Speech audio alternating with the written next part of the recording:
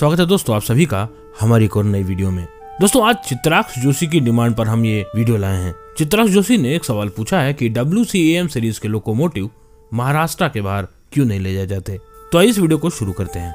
इस सवाल का जवाब जानने से पहले ज़रूरी है कि फिर से भारतीय रेलवे के इतिहास के कुछ पन्नों को उलट कर देखा जाए। वैसे भारतीय रेलवे के इतिहास पर एक डिटेल्ड वीडियो मैंने बनाया है, जिसे आप ऊपर आई बटन पर जाकर देख सकते हैं। बात है 16 अप्रैल 1853 की, जब देश को अपनी पहली पैसेंजर ट्रेन मिली, जिसने अपनी 34 किलोमीटर की बोरी बंदर से थाने तक की यात्रा एक घंटे में पूरी की थी।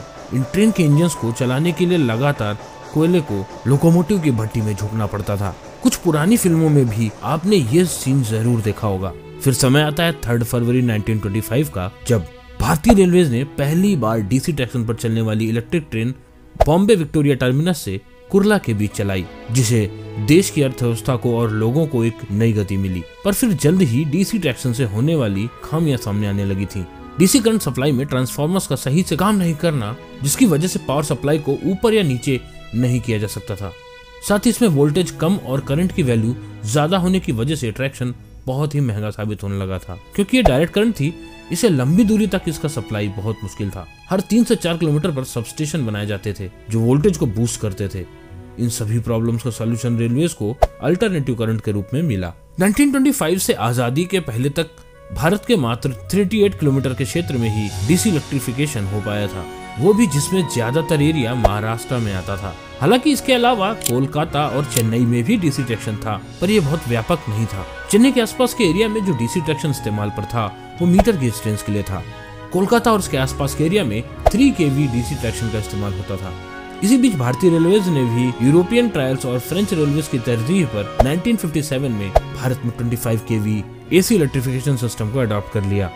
और 1960 में साउथ ईस्ट रेलवे में राज खरसवान से दोंगोवा पोसी तक सेक्शन को 25 के वी एसी इलेक्ट्रिफिकेशन कर दिया। बहुत ही इकोनॉमिकल और कॉस्ट इफ़ेक्टिव होने के कारण आज देश में लगभग 6015 किलोमीटर तक 25 के वी इलेक्ट्रिफिकेशन नेटवर्क है, जिसमें मद्रास बीच और ताम्रम भी शामिल हो गया है।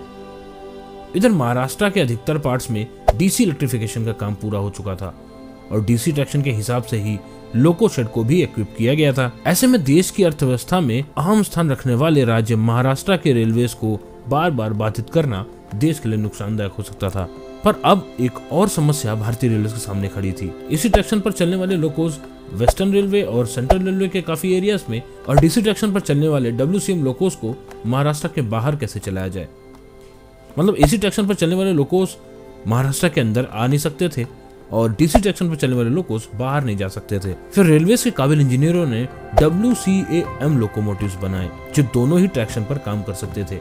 जहाँ डब्ल्यू का मतलब था वाइड गेज सी ए का मतलब था डीसी और एसी ट्रैक्शन दोनों पे चलने वाला एम का मतलब था मिक्स फ्रीट के लिए, यानी गुड्स और पैसेंजर दोनों के लिए मॉडिफाइड इस लोकोमोटिव में दो पेंटोग्राफ में से एक पेंटोग्राफ एसी ट्रैक्शन के लिए था और एक पेंटोग्राफ डीसी ट्रैक्शन पर चलने के लिए।